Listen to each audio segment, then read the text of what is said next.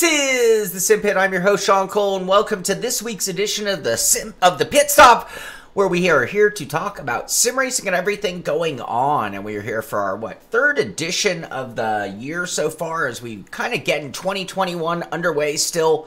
And uh, things have been a little slow with it being the off season of the real life racing world. But this is when we start to hear news of real life driver changes. We start to hear news or prospects of what's going on at Daytona for the 24 hour real life race. These are when we start to emulate the real life racing. For example, the sim racing variation of the 24 hour. So things will start to pick up very soon in the news world of sim racing. But for now, we have a few things to talk about. Uh, I will make a few apologies. I'm probably, or at least one big apology. I'm a little out of sorts today, so just a fair warning. I woke up way too early, not enough sleep, and I'm just, I've got a stomach thing. I'm not in the best of moods, but I'm still here on a Friday, still in a good mood, or best, when I say not the best, not the best condition, but still in a good mood. How's that? I think that's a fair angle on the whole thing. So, what is going on in the world of sim racing? I personally have a very big weekend coming up. Uh, for me, I don't know how many of you are doing the 24 hour Daytona race on iRacing, but me and my good friends will be. We'll be running a couple of cars there actually, and that starts tomorrow morning at 5 a.m. Uh, that is occupying a good majority of my weekend. But things start tonight. Tonight we have the Oval Series. I'll talk about that a little later. So I got an Oval race. We got a 24 hour race. And then if somehow I could recover, I have a road race on Sunday as well which is way too much racing for one weekend, but a lot of opportunity for fun. Let's put it that way. Uh, beyond my life, what is going on in the real world of sim racing, if you want to call mine the fake world of sim racing? Starting off with iRacing, Schell wins his first iRacing World of Outlaw sprint car race you know, this sprint car series has been a very tough series to break into in terms of making a name for yourself because it's really been heavily dominated by Alex Bergeron uh, for the most part. Anyway, at this point in time, it's great to see a new name on top. So much so that I don't even know his first name. Where is it? Where is it? Um, oh gosh, here we go. Tyler Schell. Tyler Schell actually beat Alex Bergeron. And uh, so he is a new winner, first time ever in that series. Alex Bergeron did take second, and Cameron Merriman took third. Uh, that tightens uh, or extends Bergeron's lead slightly, so he now has a 30 point lead over Cardwell, who actually had a rough night coming in in 12th place. So that race actually had some pretty big ramifications when it comes to the championship with Bergeron extending that lead quite a bit. Uh, Schell now in sixth place with 472 points after having a great weekend. Uh, just give you an idea, winner is $10,000 of a $25,000 purse. Uh, and if you want to watch the the action, that's Monday nights. Monday will be the next race in this series. We're getting uh, towards the end, I think, on that series. So uh, things will keep heating up, I'm sure. Team Redline, well, they're going to be in our news a couple of times. Uh, Team Redline goes 1 2 at the 2021 BMW Sim GT Cup opener from Daytona. So, congratulations to those guys. Uh, the next race on that one is March 7th at Suzuka. Uh, details on this the drivers of the winning car were, were Jonas Wallmeyer and Gianni Vecchio who held off the number two car for Team Redline of Max Verstappen and Daniel Juncadella. Uh, finished in a photo finish, by the way. Uh, pole sitting car of VRS Coanda Simsport, Mitchell DeJong and Josh Rogers uh, finished in third place. In this one, we have $4,200 prize pool split amongst the top three finish finishers in the split, with the winnow doing duo. This is per race. Each race features a mandatory driver changeover and a $4,200 prize pool per race, split amongst the top three finishers in the top split, with the winning duo taking home $2,400 of the 4,200. Um, so five, four more races in that coming up, but Team Redline Blue winning, Team Redline Orange in two, two, and VRS Coanda Simsport in third spot. Look at how many teams participated, by the way, and look at some of the teams that they beat out. Um, big names, big names. Uh, what else? Uh, defending champ Job back on top of the Porsche tag, Porsche Tag Heuer Esport Super Cup at Barcelona.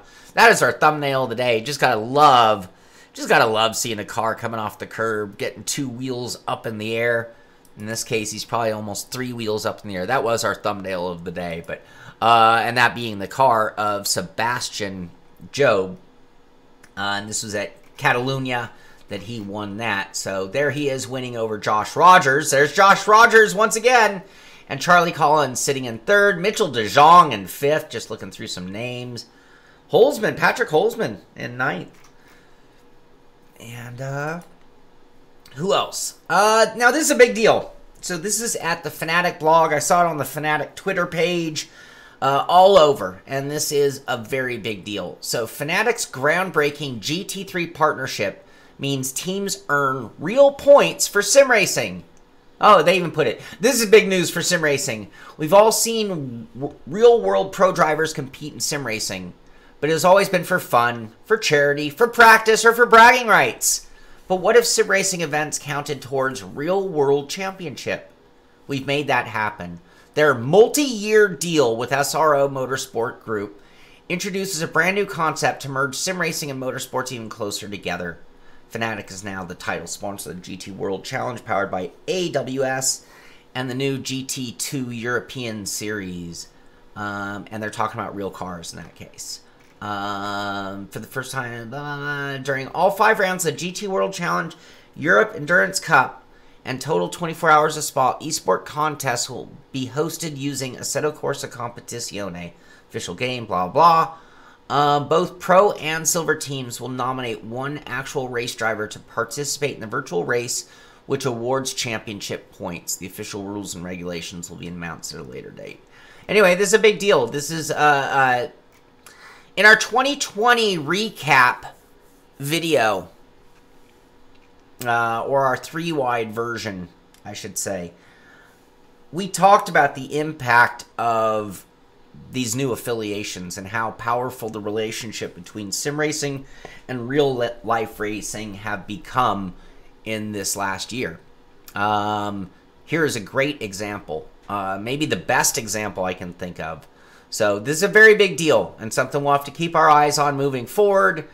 Um, and of course, they're going to promote the M4 GT3 and the Fanatec steering wheel. Also, this week, is the new CSL Universal Hub. I've seen a few reviews out there in the world. Uh, I just got my hands on the new McLaren rim, by the way.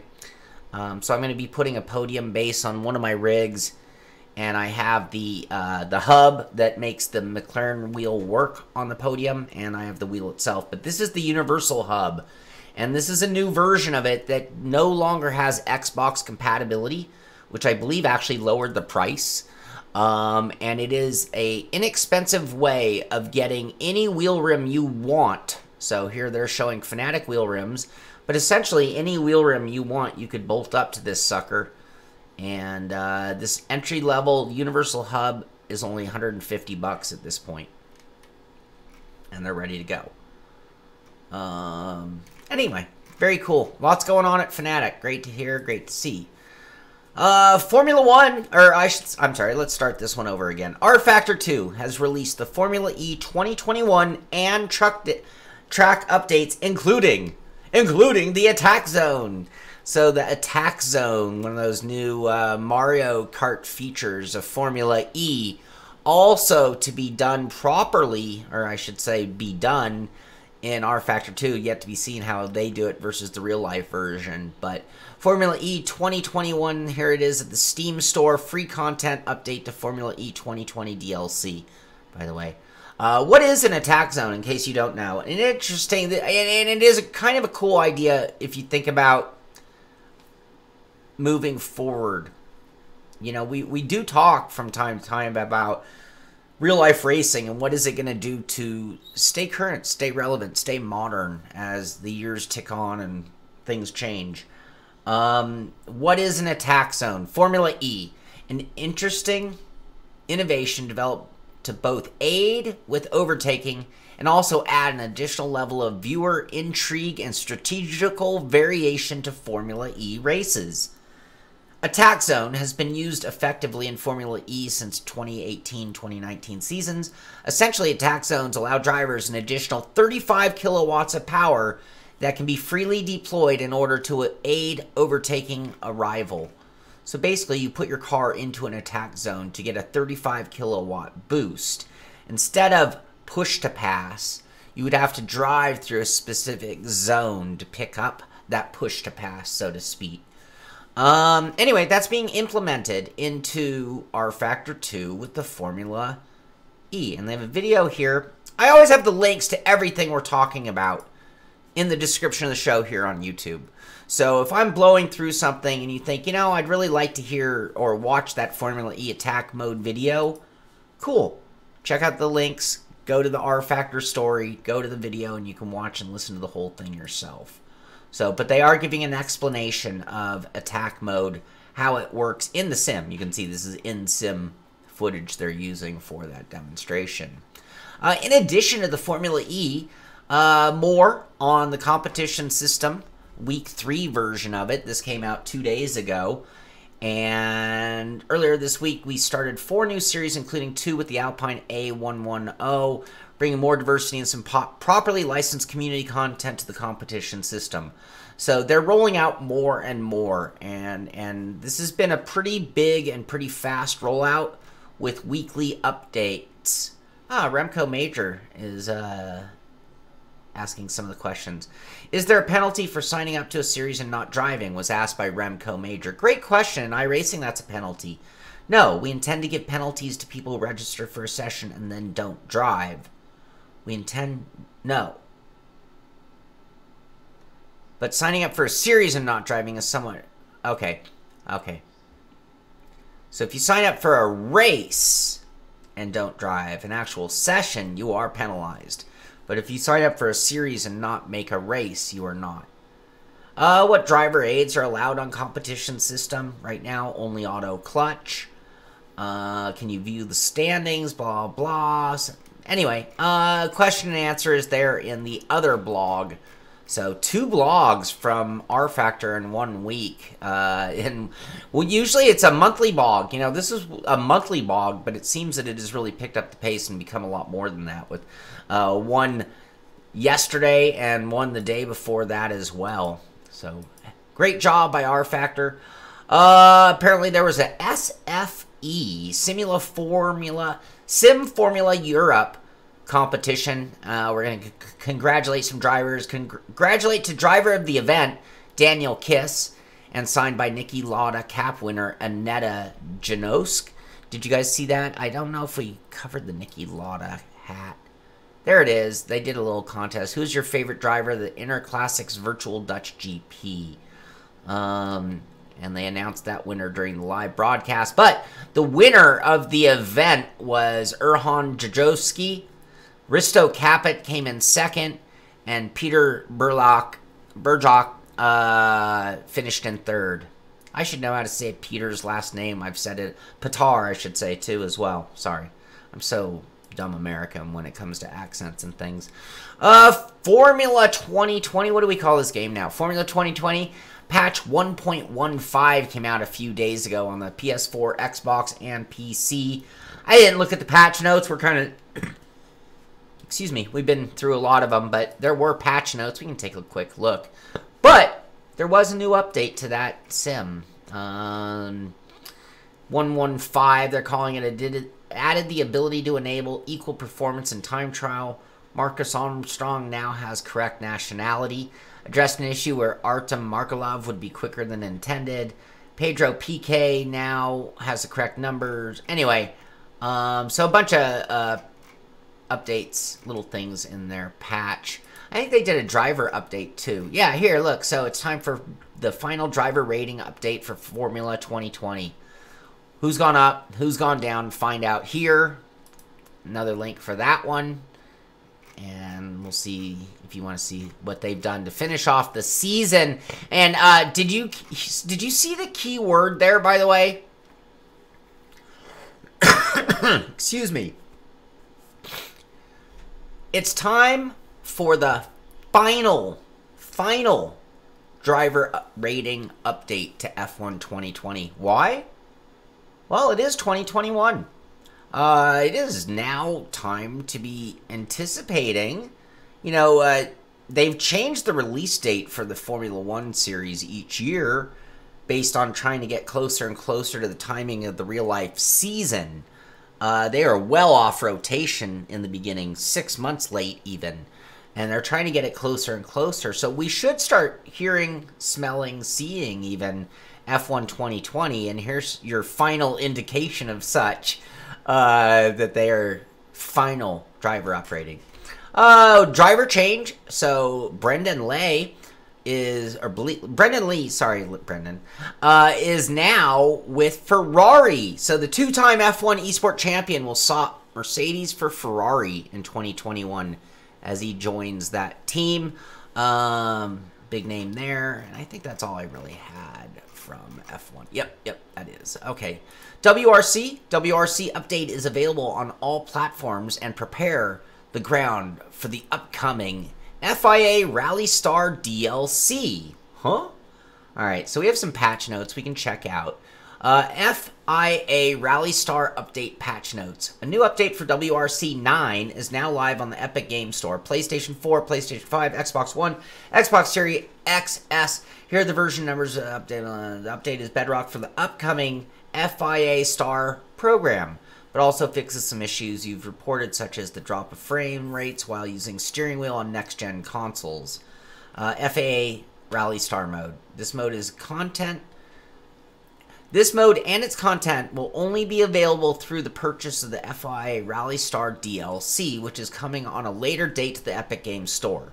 FIA Rally Star game mode, a new track, brand new car, the M Sport Ford Fiesta Rally 3, uh, general fixes and all of that. So, anyway, Rally Star mode. And I think now, so, but I thought this led to a competition.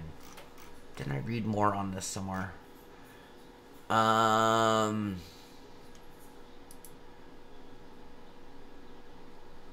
Yeah, hold on. I thought we had. No.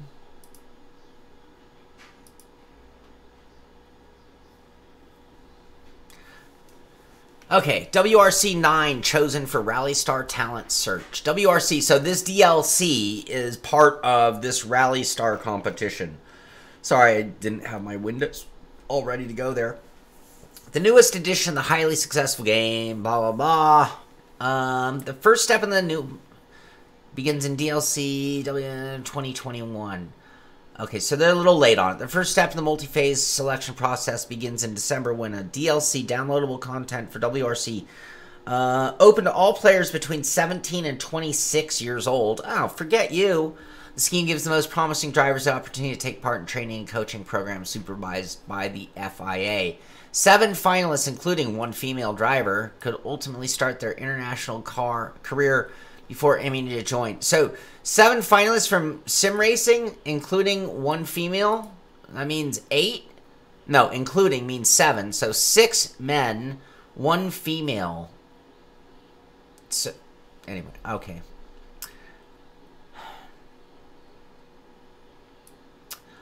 I do not. Oh wow, Pandora's box, Shaun. Pandora's box.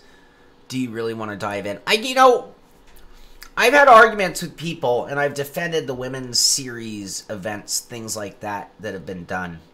Uh, there is a need to promote more women in motorsport. But in a competition like this, when there's only seven finalists, I'm not sure that I feel it's fair or right even to six random, including one. So if a woman earned her right into the seven, does that mean there'd be two women. I don't know. It just that seems odd that they would do that. And is that a, a woman sim racer being included with the six, or is that a woman amateur driver? I don't know. Anyway, I I we'll find out later. Uh, anyway, that's what's going on with that whole Rally Star. There's really not much information on it, but it's going on. And they've done this before, by the way.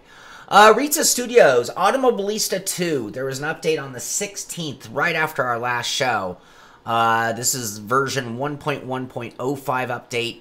Our track team has added the final details to their rendition of the incredible Circuit de Spa Francorchamps. And that's how things are looking at Spa in Automobilista too. Oh, wow, that's beautiful. Nice work, Reiza. Really nice work, you guys. Really, really nice work. Uh, what else? Is that it from them? I think that was it from them. Yep, yep. Uh, Fanatec, Fanatic, we talked about the Universal Hub already. Yep, but here is a video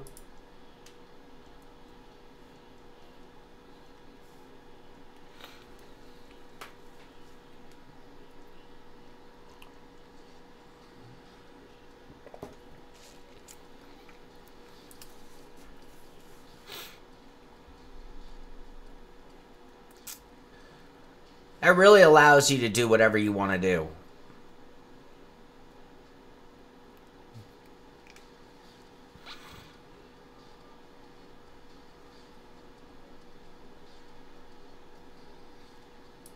All right, and we talked about that incredible competition. Uh, real race drivers earning points in the Fanatec GT World Challenge.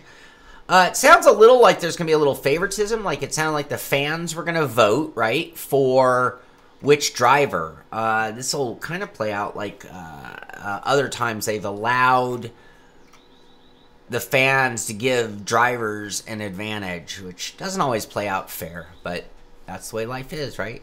Life, life ain't always fair. Uh, congratulations to Oldest Putklis. Putklis. Putklis. Sorry. Sorry, Oldest. Uh, he was the Hot Lap Hump Day winner at WeatherTech Raceway Laguna Seca. That was in the new IndyCar um, Pro IndyCar uh, PR18, I think they call it.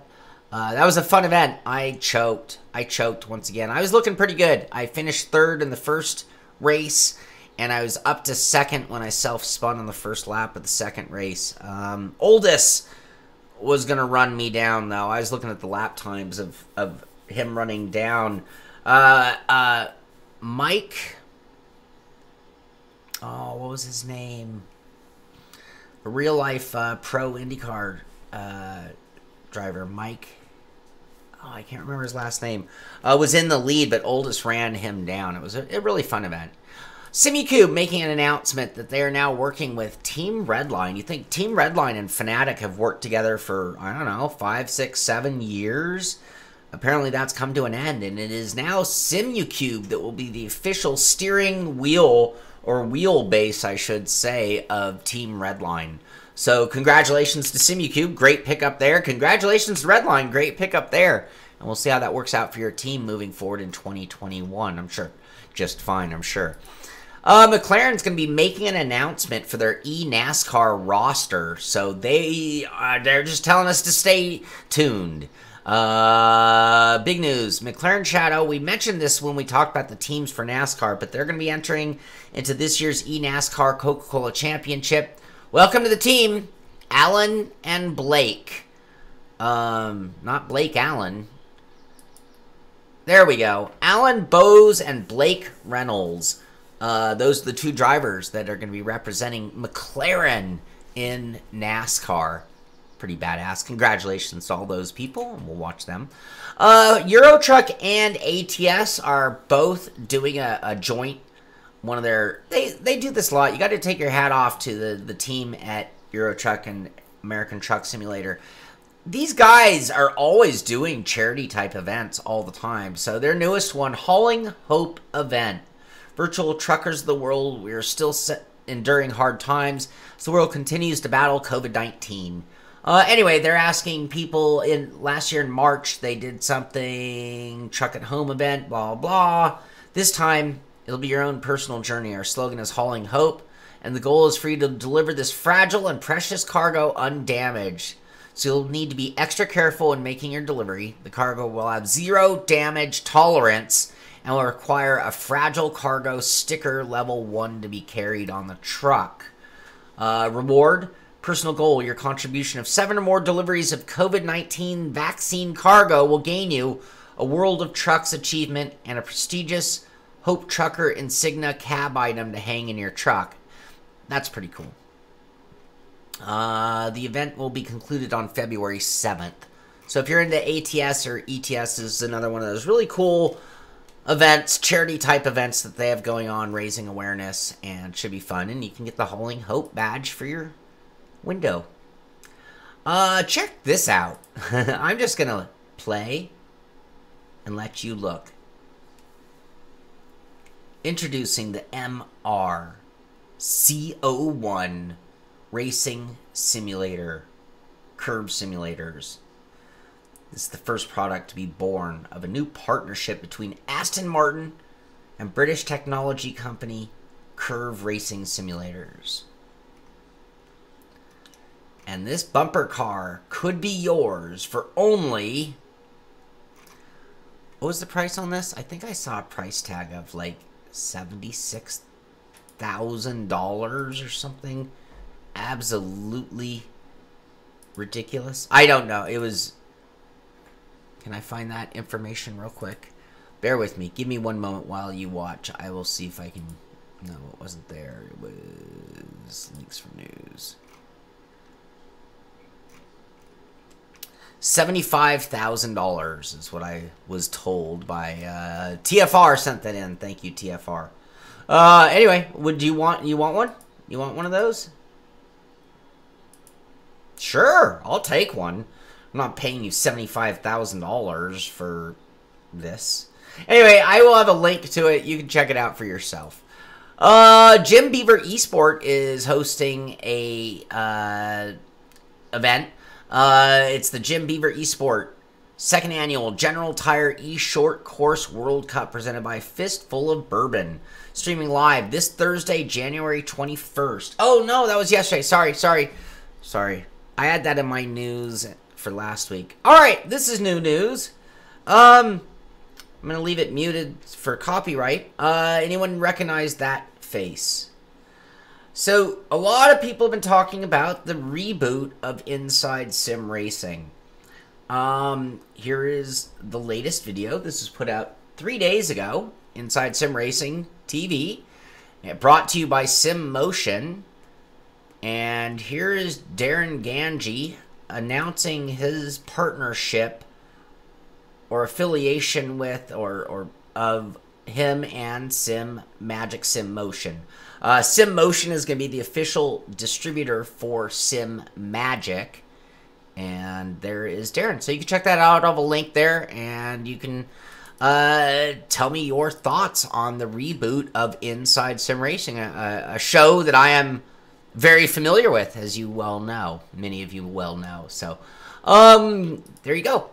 Here's that Aston Martin bumper car. This is the thoughts on Reddit uh, regarding that simulator. Aston Martin's new AMR CO1 racing simulator looks familiar.